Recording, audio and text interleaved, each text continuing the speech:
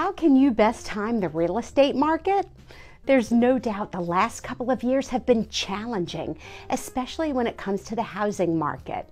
If you are a potential buyer or seller currently feeling stuck and unsure, here are some tips to help you overcome all the worries and start implementing your dream by making a move.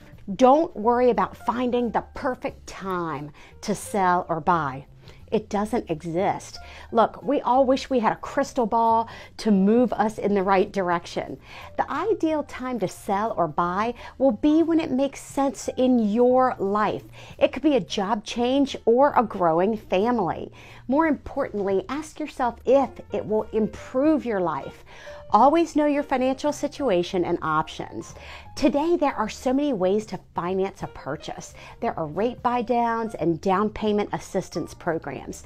Some banks have just expanded their no down payment mortgages to people with higher incomes than ever before. It is always best to know all your options. You are not as stuck as you may think. Supply and demand is much different than it was two years ago, giving buyers and sellers more opportunity.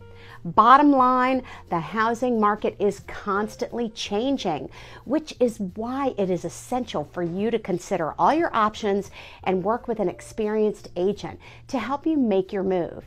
If you want more information on selling or buying, feel free to reach out to me and my team, and we will be happy to help you. I'm Hope George, your best hope in real estate.